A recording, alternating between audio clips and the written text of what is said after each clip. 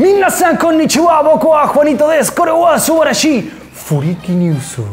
En este video hoy tenemos invitado súper especial, vamos a estar compartiendo data suculenta nipona, esta sección la teníamos medio abandonada, es una de las más pedidas del canal y estaba ahí durmiendo por allá. Tenemos un invitado, pero no te voy a presentar yo, me gustaría que vos te presentes con la gente, que le cuentes a la gente que no te conoce obviamente, quién sos y qué es lo que haces. あ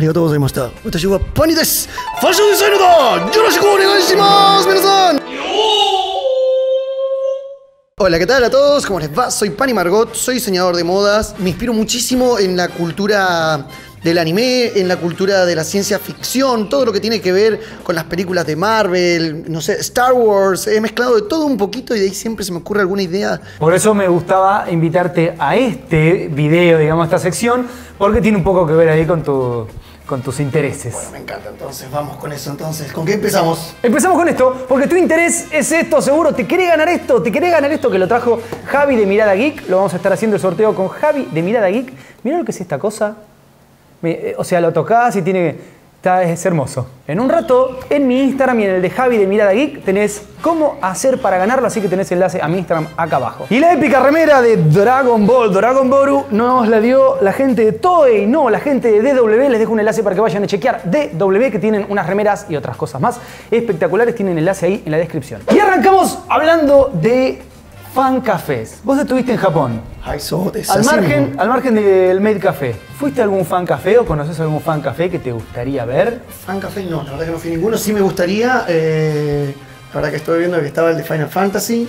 Como todo el mundo sabe, en Tokio se abrió el Square Enix Café en el año 2016. Ahora, para el relanzamiento del Final Fantasy XII, se está abriendo un café justamente del relanzamiento del Final Fantasy XII. Todo bien con el 12, pero a mí me siguen haciendo esperar Final Fantasy 7. ¿Cuándo me van a sacar el remake? No, perdón, Te entraste. era el 7. No era el 12. con razón, yo dije, bueno, del todo- bien con el, el remake del 7, 12. se me, se me pifió el número romano, lo dejo Ah, así. ahí Era el está. 7. Me equivoqué entonces, pero es el café del Final Fantasy 7, es como un café del remake, ni siquiera del Final Fantasy 7, y vas a tener espadas comestibles y todas las cosas, esas frica- fri- friqueadas que hay en esos cafés. Así que ese sería justamente el café que te gustaría visitar. Por favor, pero me encantaría. Es una cosa, una de las cosas que me quedó pendiente de ir a- en Japón y bueno, una de las cosas que las que no me perdí sí fue ir a un My Café. Qué experiencia extraña que fue esa. Bueno, tenemos una persona aquí que ha estado en Made Café. Hemos visto, hemos hablado, hemos, nos hemos perturbado también con los Made Cafés. Me gustaría saber cuál fue tu experiencia en el Made Café, qué fue lo bueno y qué fue lo malo de entrar a un café de estos. Bueno, primero que todo, todo en Japón es muy, muy, muy, muy, muy, muy, muy, muy, muy chiquito. O sea, en un mismo edificio hay departamentos muy chicos y ahí ya tienen un negocio. O sea, cuando vos decís café te imaginas algo grande, por ahí es eh, un, un departamento. cafetín, sí. Sí, es un cafetín. Hay siete mesas primero que todo. Entonces, te saludan dos chicas como ña, ña, ña, tipo con sus vestiditos de, de, de mucama. Y en un principio decís, pero qué vergüenza.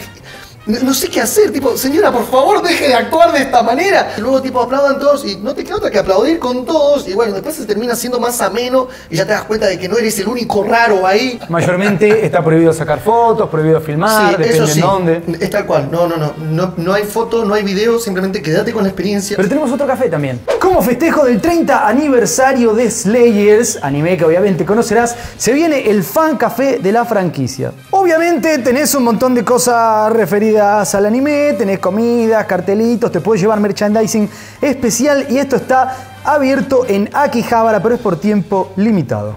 Pero volvemos para atrás porque además del Final Fantasy 7 Remake Café, esto es para vos que lo pedís, acaban de subir el opening del juego completo, así que ahora después te pasás por YouTube cuando terminamos de grabar y tenés el opening remake del juego en YouTube. El día de ayer fueron los Crunchyroll Awards, los premios Crunchyroll, que si conoces algo anime, verás anime posiblemente en Crunchyroll. Si te pregunto cuál es tu anime top de, el del último año no, de la última década. Bueno, Death Note, obvio, para todo el mundo. O sea, a quienes no les gustaba el anime y se los hice ver, dijeron, está bien, no me gusta el anime, pero es excelente historia esa.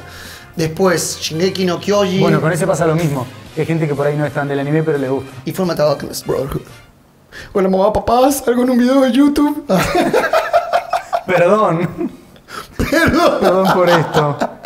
Che, boludo, me estoy riendo de cualquier hueva. Me siento que soy Ah. la de Necochita Blog. Yuko. soy Yuko. Chop. En Japón, eh, ¿sacaste algo, una maquinita expendedora de algo, de alguna cosa? ¿Sabes que me faltó esa experiencia? Hoy te voy a mostrar la máquina expendedora de anillos. ¿Pero qué tipo de anillos? Anillos eh, con el estilo de latas, por ejemplo, de atún, de, de otro tipo de pescados. ¿Qué te parecería tener un anillo de lata de Ah, el- pescado? Es, es buenísimo. Vos que sos un hombre de la moda, ¿te parece fashionista o te parece una desgracia? Hay toda una rama de la moda que se llama. eh, va, hay, hay toda una expresión artística que se llama kitsch. El donde basu- el justamente. basurismo es este. Es, es algo así. No, el kitsch es la moda del mal gusto, por así decirlo. Pero digo, es una, es una orientación artística del mal gusto. Vos, ¿te pondrías un anillo de lata de atún o te pondrías un anillo eh, de lata de cerveza, Ah. por ejemplo? ¿Cuál sería tu anillo? ¿Con qué mugre te harías un anillo vos? Esa es la gran pregunta. Acá abajo deja tu comentario si te harías un anillo con saliva de vieja, alguna cosa que sea un desecho. ¿Viste Parasite? Yo no la vi, no me spoilees, por favor. Acaba de salir algo muy interesante a las redes que es el Parasite Challenge. Comen algún tipo de eh, ramen o algo por el estilo, ¿no? Sí, Bueno. sí, sí, hay una escena. El challenge consiste en hacer eso en menos de 8 minutos. La cosa es que muestran que se hace ese ramen y vos lo ves y se ve rico. Pero no, hablando en serio, che, qué ganas de hacerlo, ¿eh? En 8 minutos. Después lo podemos Hay que hacer el video, ¿eh? Lo hacemos, hacemos un Hay video. que hacer el challenge. en 8 minutos. Si vos lo haces, comentalo por ahí abajo. Resulta ser que en las últimas horas hay una cosplayer que está siendo víctima de las críticas de internet. Ella se llama Aya Kirima. ¿Qué pasó?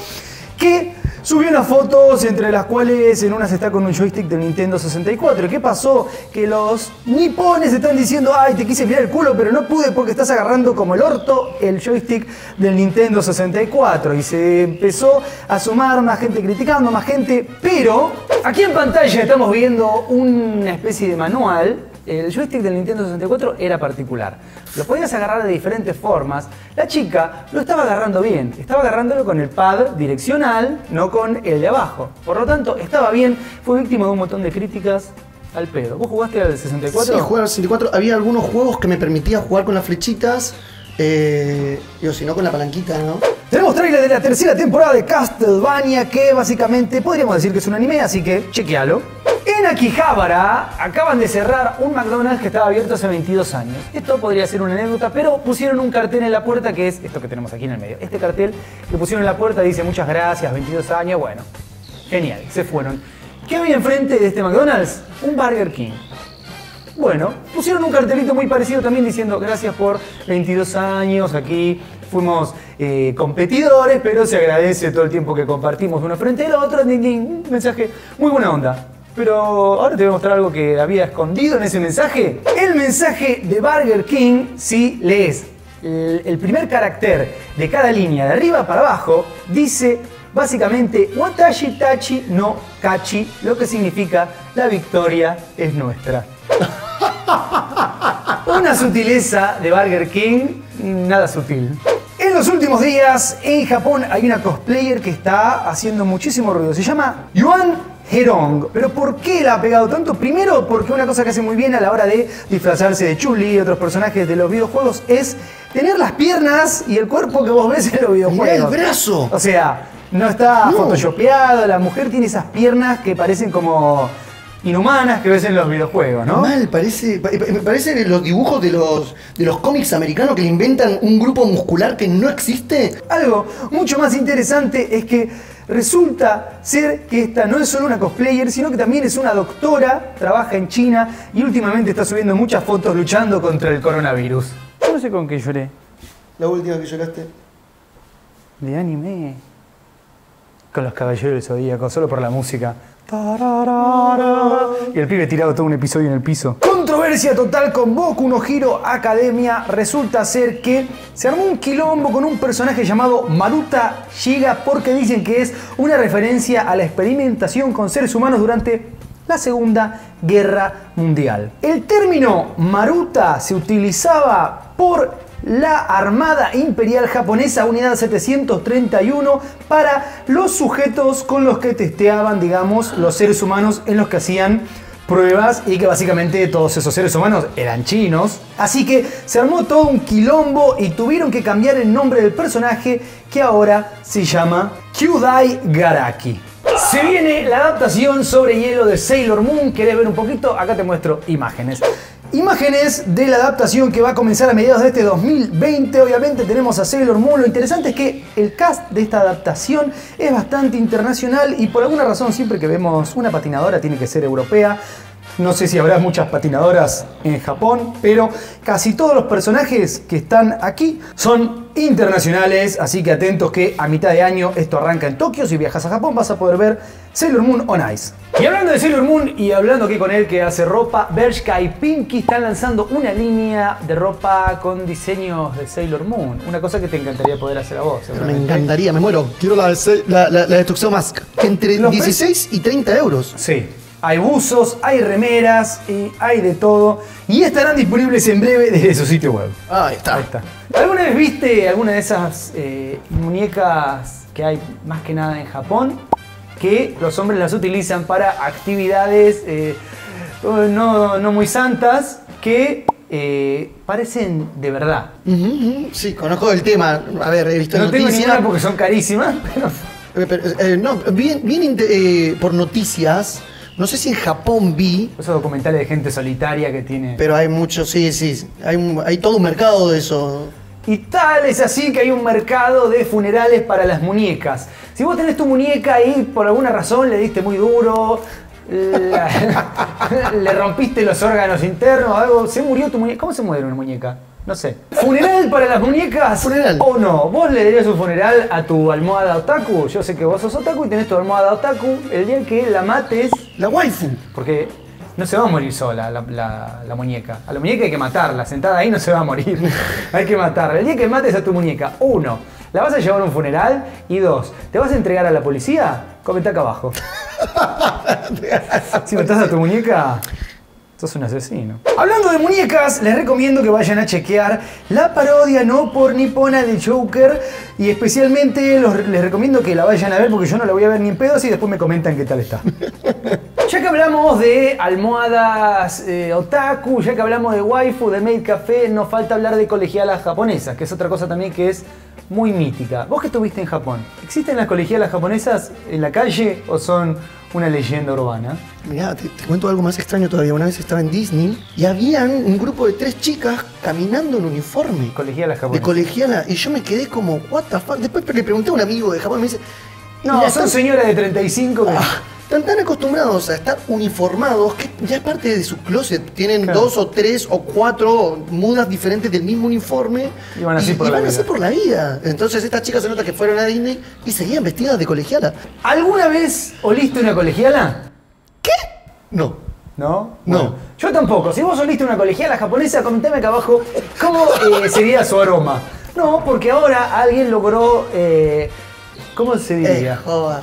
Logró eh, fabricar el olor de colegiala japonesa. Resulta ser que en Japón acaban de lanzar un desodorante de ambiente o un refrescador de aroma, de estos que por ejemplo pones en la heladera, en el auto, con aroma a jovencita colegiala nipona. Y también funciona que una persona en Twitter comentaba, te pongo el tweet por acá, léelo, está en japonés, pero léelo, que dice, venía en el auto y mi vieja me dice, ¿llevaste una niña, una jovencita hace poco en tu auto? No, mamá, soy un virgo de mierda, pero tengo un refrescante del aire, del aroma, de niña nipona colegiala. No, no, no, se pasan. Se pasan. Olor, olor a pibita, es raro. Es rarísimo. Imagínate o sea, que vas a comprar eso. Pero vos podés creer que estas cosas funcionan en internet. O sea, Y seguimos con colegialas porque en Osaka han hecho que sea ilegal que adultos duerman con chicas colegialas, a menos que a ellas realmente, realmente les guste el señor. Acaban de proponer una revisión a la ley para que sea un poco más estricto el tema de relaciones serias entre eh, niñas y señores. En la prefectura de Osaka prohíben los actos, digamos, eh, perversos o los actos sexuales entre un adulto y una persona de menos de 18. Pero hay muchos tipos de, formas de zafar de esta ley. Es un poco complicado. Así que están tratando de hacer un poco más de, de fuerza, digamos, con esta cuestión para que...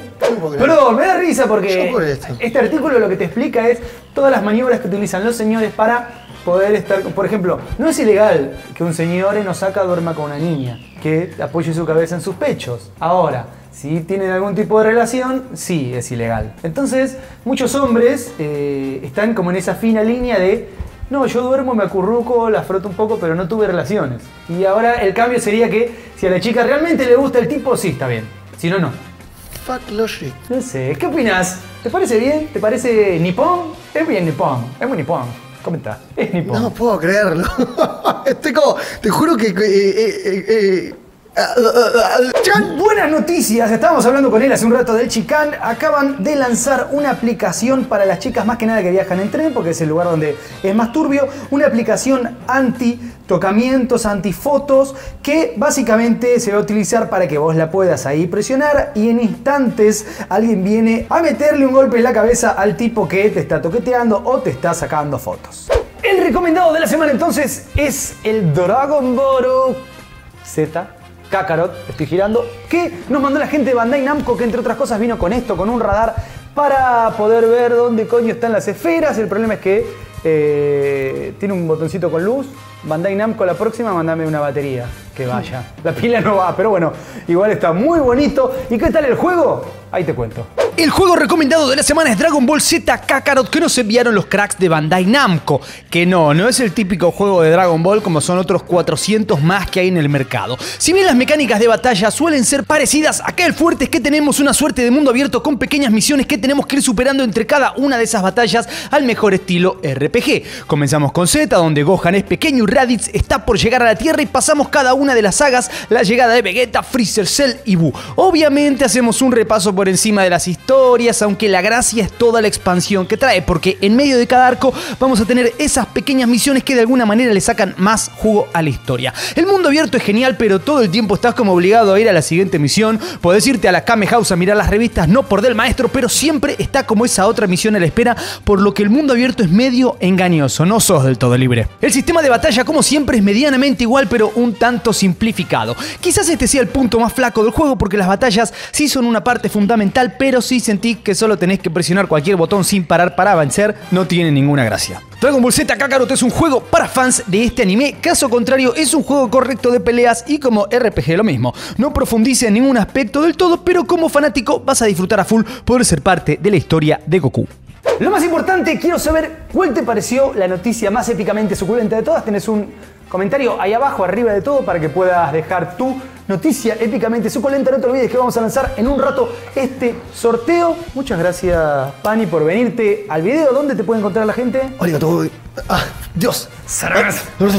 Arigato gozaimasu. Bueno, nada, pueden seguirme en mis redes sociales, arroba PANNI-MARGOT. Así como está escrito aquí.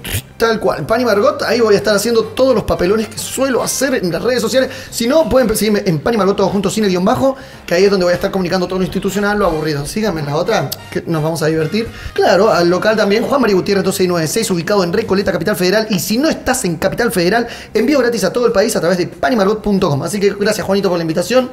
Comentame acá abajo quién tenés ganas de que invite para algún otro video. Si tenés ganas de que lo invite de vuelta, también ponelo a él. Y lo más importante, no te olvides de darle duro, duro, duro al botón de like, de suscribirte, de tocar la campanita y de estar atento porque aquí hay videos todo el tiempo.